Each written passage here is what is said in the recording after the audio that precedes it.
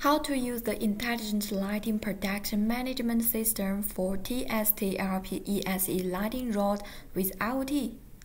Open the browser and enter tstlp-connect.com in the address bar to enter login page of the TSTLP Intelligent Lighting Protection Management System. You need an account and password to login, and there are two sources for getting an account.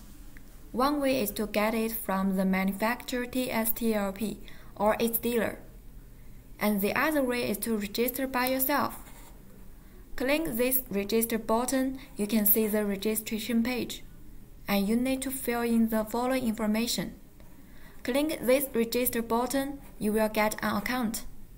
Then back to the login page, input your account and password.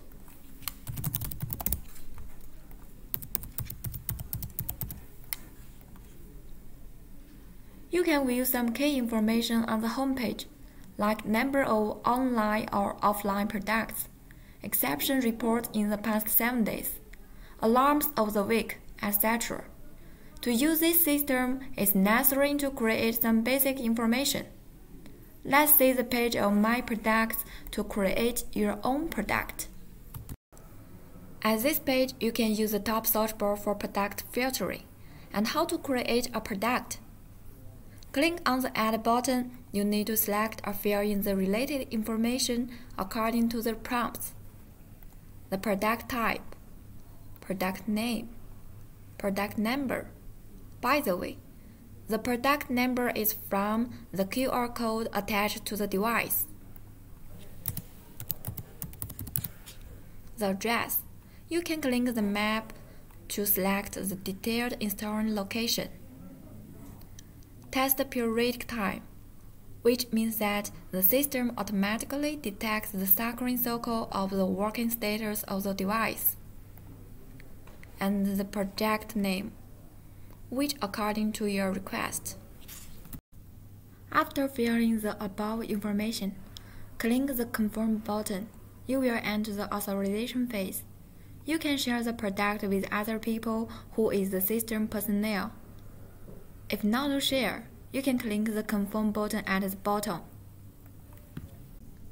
Now you can see the product in the list that displays key parameters such as the number of lighting strikes and test result.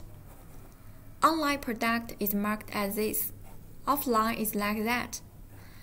This lighting records the number of lighting strikes. OK means the test result is normal. On the contrary, it's abnormal.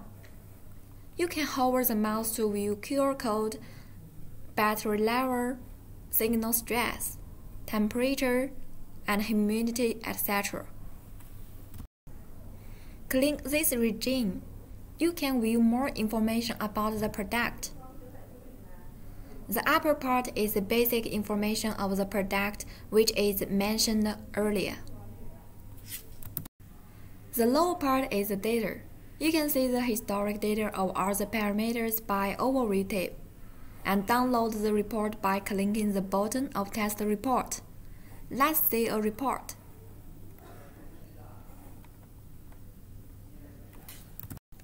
From the table of lighting records, you can see lighting strikes records. In the test results table, you can not only see the test records but also actively test the device working status. After triggering the test button, it's expected that the detection will be completed in around 20 seconds.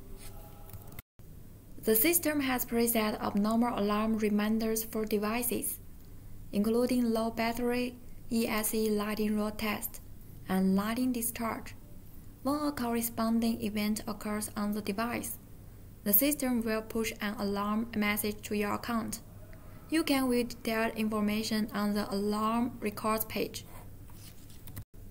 The system provides you with the service subscription function. If you need more system functions, you can view different versions of content in the system subscription page. After successful subscription, our consultant will contact you. Our valuable partners or distributors apply for the high levels account from us directly. without any system subscription.